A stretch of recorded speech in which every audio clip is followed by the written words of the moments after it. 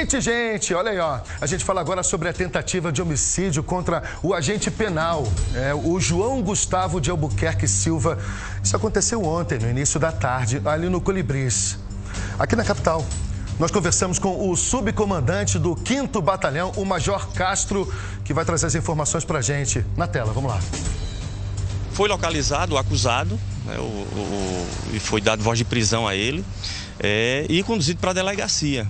É, a vítima é socorrida para o hospital de ortotrauma aqui de Mangabeira, onde passou por, por cirurgia e encontra-se, segundo informações, em estado grave. Esperamos que ele se recupere. E a, o acusado foi conduzido para a delegacia, né, autuado em flagrante por tentativa de homicídio. Comandante, há informação de que essa discussão entre os dois ali acontecia é, já há um certo tempo, né? Chegou isso para a polícia também?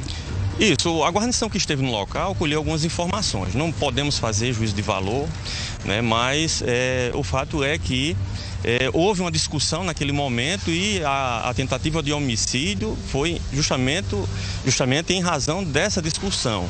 Né? Fatos anteriores realmente é, não podemos afirmar, né? é a versão dada por amigos e familiares do, do acusado, né, e a própria versão do acusado, que ele é, teria sido ameaçado, mas aí cabe à Polícia Civil investigar, a autoridade policial investigar e chegar à conclusão através né, das investigações para saber realmente o motivo né, dessa tentativa de homicídio.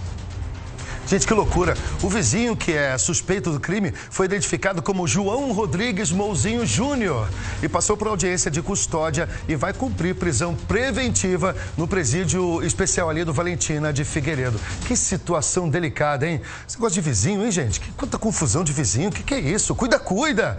Gente, gente, ó, o corpo do policial militar, o cabo Hélio Vieira, foi enterrado no cemitério de Bahia sob muita, muita comoção. Ele foi morto a um, com um tiro é, quando foi com o sogro tentar resolver um problema de um toldo, o sogro dele foi lá é, fazer uma, uma manobra com o caminhão, acabou é, é acabando com, é, mexeu com um toldo, é, bateu com um toldo numa, de uma barbearia. Aí o dono da barbearia, o dono do estabelecimento, José William de Lima, acabou atirando no PM. Na hora da discussão, o comandante do primeiro batalhão falou sobre esse caso, gente. A Polícia Militar está de luto. É, era um policial com uma conduta exemplar, né? constava aí com 19 elogios em sete anos de serviço prestado à sociedade, é sempre muito prestativo e foi um policial que prestou bons serviços à sociedade. Desta maneira, é, a polícia e a sociedade paraibana estão de luto. O acusado está preso, é, vai responder ao, ao, procedimento né, junto à Justiça Paraibana e a, a Polícia Militar se posiciona para que a justiça seja feita. Que coisa, hein, gente? O suspeito de atirar e matar o cabo Hélio passou aí, ó, é, o seguinte, ó, o José William de Lima passou por audiência de custódia e está preso na cadeia pública de Bahia. E vai ficar lá, gente, não tem jeito. Agora vem cá.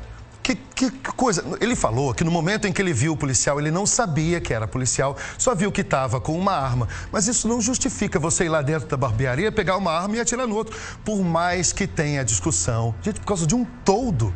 Fala sério. Aí vai, eu quero um todo novo. Não, a gente vai arrumar. Não, eu quero um novo, a gente vai. Gente, tolerância. A gente precisa ter tolerância nesse momento, principalmente quando você está com uma arma na cintura. É uma, é uma, coisa muito delicada. A gente ainda vai falar sobre esse assunto e é muito, muito difícil a gente falar sobre isso, porque quando a gente fala de arma de fogo, por que, que o policial que ele estava com a arma? O policial é uma pessoa preparada.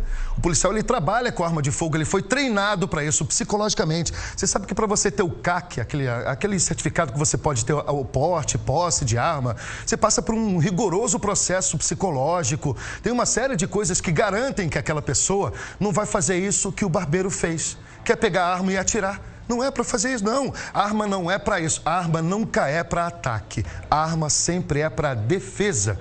E é muito importante a gente falar sobre isso, porque no momento em que você, tudo bem, você tem ali a sua arma, você tem todos os registros, você tem o direito de andar com aquela arma, você tem a posse, você tem o porte, seja o que for, mas você não pode, em hipótese alguma, no momento de uma discussão, já sair pegando a sua arma. Não é assim que funciona.